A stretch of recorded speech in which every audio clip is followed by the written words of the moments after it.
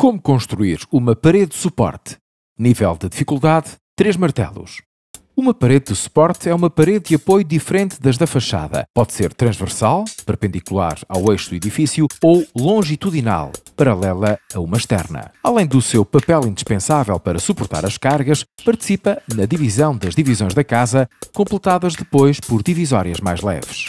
Irá precisar de argamassa, cimento, areia, água, adjuvante plastificante, blocos padrão, blocos isolantes, vigas, ripas e pregos. Basta ter uma betoneira, uma pá, uma colher de pedreiro, um cordão de pedreiro, um fio para traçar, um martelo e uma fita métrica.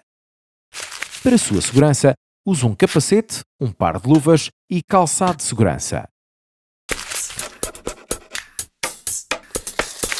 Para suportar a carga, deve ser colocada uma base de fundação sob a laje no local de cada uma das paredes de suporte. Como deve ser isolada do solo para cortar a ponte térmica e evitar a perda de calor, a primeira fileira de alvenaria consistirá em blocos de material isolante, deixando espaço para blocos padrão nas fileiras seguintes. Para garantir o isolamento da cobertura externa da casa, as paredes interiores já não estão conectadas à alvenaria externa. Devemos limpar algum espaço para o isolarmos durante a duplicação das paredes. Consulte o plano para marcar a parede de suporte na do cume, a partir da parede da fachada, medindo o interior da futura divisão. Traça a marcação da espessura dos blocos, transfira as mesmas medidas para o cume oposto. Marque as marcas externas da parede de um cume para o outro usando um fio para traçar.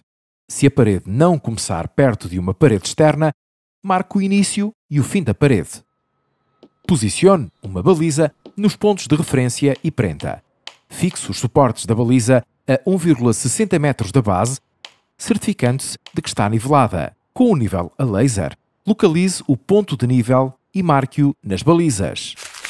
O ponto de nível é a marca precisa, marcada nas balizas a 1 metro do ponto mais alto da linha de construção na borda da laje.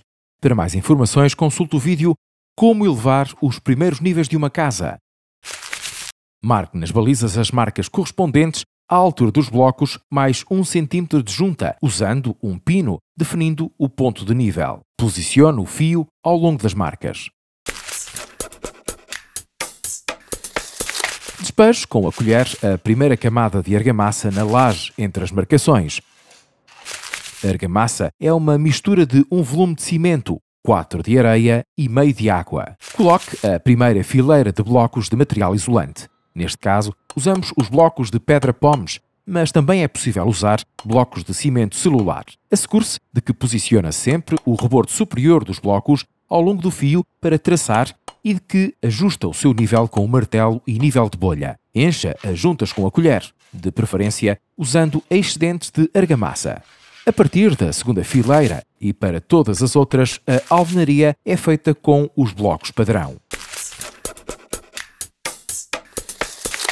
Acabe de construir a sua parede como uma parede tradicional, sem se esquecer do reforço que liga a parede ao resto da casa. A parede de suporte pode então ser usada como superfície de apoio para um piso com vigas e lajes ou para suportar a carga de sustentação das treliças do telhado, bem como a viga do piso.